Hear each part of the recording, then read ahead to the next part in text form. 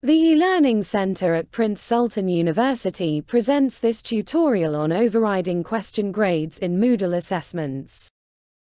Firstly open the assessments attempts page.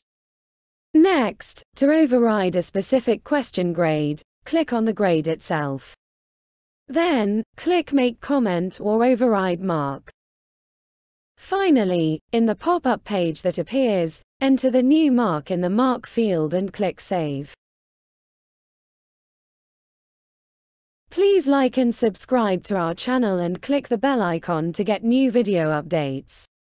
Thank you for watching. Please don't hesitate to contact us for further support.